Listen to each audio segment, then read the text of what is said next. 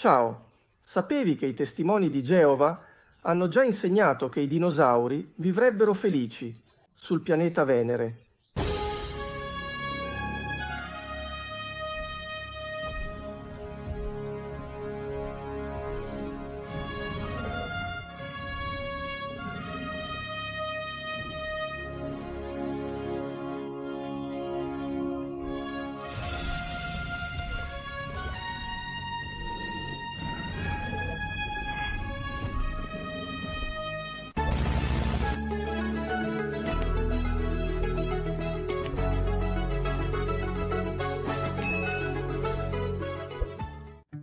Ciao, mi chiamo André Conceiro. Benvenuto ad André sulla fede. Colui che vi parla è un ex betelita, traduttore di pubblicazioni e interprete del corpo governante durante le sue visite in Brasile. E oggi parleremo di questa sciocchezza, questa follia della torre che ha a che fare con i dinosauri che vivono su Venere, nella rivista Età dell'Oro, precursore dell'attuale Svegliatevi, del 1 aprile 1931, c'è un articolo intitolato Considera i cieli, basato sul Salmo 19, 1-6, dove si dice, in parte, i cieli dichiarano la gloria di Dio, il firmamento proclama l'opera delle sue mani. L'articolo passa quindi a considerare il sistema solare in dettaglio, pianeta per pianeta, incluso l'astro re, il Sole e le sue peculiarità, alcune informazioni sono addirittura corrette e altre ovviamente no. Ad esempio, l'autore dell'articolo sembra cercare di suggerire l'idea che potrebbe esserci vita sulla Luna a causa dei cambiamenti di dimensione nei suoi crateri. Il testo dice che tutti gli astronomi sono costretti ad ammettere che i crateri sulla Luna sono stati visti crescere e poi diventare molto più piccoli e poi scomparire completamente dalla vista. Solo per riapparire.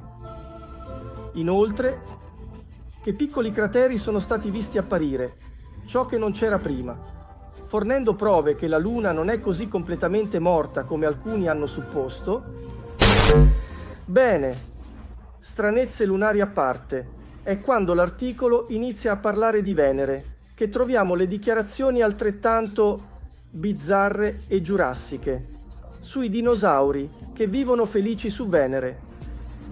L'articolo passa a descrivere Venere come un pianeta simile alla Terra. Venere prende il nome dalla dea della bellezza e dell'amore. Ha un'atmosfera probabilmente circa due volte la densità della nostra e le temperature prevalenti sarebbero tropicali, a causa dello spesso strato di nuvole tra il pianeta e il Sole. Non c'è motivo di supporre che la composizione di Venere differisca da quella della Terra e fino a dove sappiamo, piante e vita animale come la conosciamo potrebbero benissimo esistere lì. Bene, andiamo a un colpo di realtà. Invece di un luogo con vegetazione lussureggiante e clima tropicale, Venere è un pianeta con condizioni estreme che lo rendono un ambiente inospitale e completamente diverso dalla Terra. Per fare un esempio, la temperatura media è di 464 gradi centigradi, abbastanza calda da fondere il piombo. La pressione sulla superficie è di 92 bar, che è l'equivalente della pressione a 900 metri di profondità nell'oceano sulla Terra. È una pressione schiacciante. Le nuvole di Venere, vedete, sono composte da goccioline di acido solforico. Ehi, quindi questo scenario somiglia più all'inferno mitologico di fuoco che a un paradiso lussureggiante. Siamo quindi arrivati alla nostra dichiarazione controversa sui dinosauri. Proprio alla conclusione delle considerazioni su questo pianeta, sarà molto chiaro per i lettori del libro Creazione del giudice Rutherford che la condizione attuale di Venere è approssimativamente la stessa della Terra prima del diluvio. Ed è significativo che alcuni astronomi abbiano promosso l'idea che animali come i dinosauri, che un tempo vagavano per questo pianeta, ora stiano trovando su Venere un posto felice in cui vivere. Ok, fermo, fermo tutto.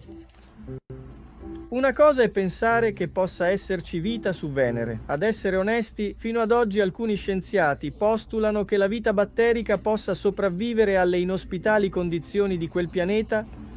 Un'altra cosa molto diversa è dire che i dinosauri della Terra ora vivono lì su Venere. Ma aspetta, come ci sono arrivati? Hanno fatto l'autostop su un disco volante. Ehi, ehi, ehi, ehi! Lo so. Lo so che tutto questo è molto divertente. Tutto questo è molto bizzarro. Ma il nostro canale intende essere un canale giusto ed equilibrato. Quindi, contestualizziamo alcune cose. Numero 1. L'idea che Venere sia abitato da dinosauri ha realmente circolato per un po' tra alcuni scienziati. Diciamo, i più speculativi di quell'epoca. Guarda la spiegazione che l'astronomo Carl Sagan ci dà su questo. Noi ci siamo evoluti sul pianeta Terra e per questo lo consideriamo un luogo congeniale. Ma proprio accanto c'è Venere, fino a poco tempo fa avvolto nel mistero ha quasi le stesse dimensioni e massa della Terra. Potrebbe il nostro mondo fratello essere un pianeta con un'estate mite, un po' più caldo della Terra, perché è un po' più vicino al Sole. Ci sono crateri, vulcani, montagne, oceani, vita.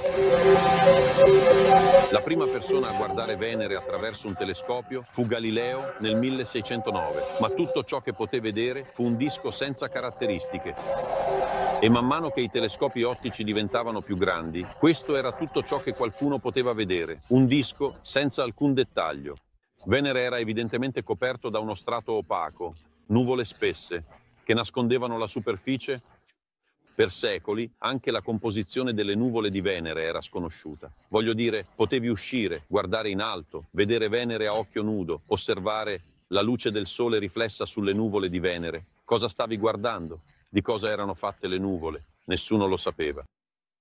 Di conseguenza, l'immaginazione ha preso il volo. L'assenza di qualsiasi cosa visibile su Venere ha portato alcuni scienziati e altri a dedurre che la superficie fosse un pantano. Gli argomenti, se possiamo dignificarli con tale frase, erano qualcosa del genere. Non riesco a vedere nulla sulla superficie di Venere perché, perché è coperta da uno spesso strato di nuvole. Bene, di cosa sono fatte le nuvole. Acqua, è chiaro, quindi Venere deve avere una quantità enorme di acqua, così la superficie deve essere bagnata. Bene, se la superficie è bagnata, probabilmente è un pantano. Se c'è un pantano, ci sono felci. Se ci sono felci, forse ci sono anche dinosauri.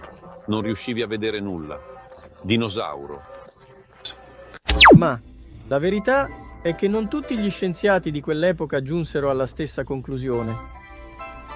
E così abbiamo Rutherford, l'uomo presumibilmente scelto da Gesù per essere il primo rappresentante dello schiavo fedele e discreto e lui decide di pubblicarlo. Cosa ne pensate?